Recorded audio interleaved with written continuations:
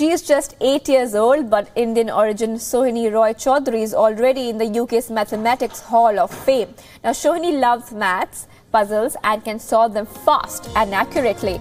She has just topped an online mathematics-based uh, competitive for primary school students from across Britain, and we had the little genius joining us in an exclusive chat with WION's Aisha Sindhu. Listen into the conversation.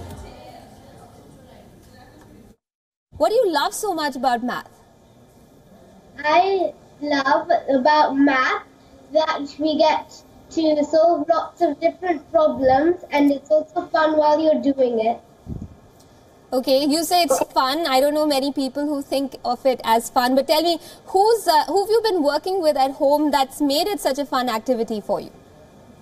My father, because my father encourages me to do math and solve lots of problems, and I find it a bit easy because he teaches me all the easy ways of solving them. Sohini's father is also joining us here on the broadcast. Can I ask you, uh, which side of the family is taking credit for uh, Sohini's achievements, yours or mum's?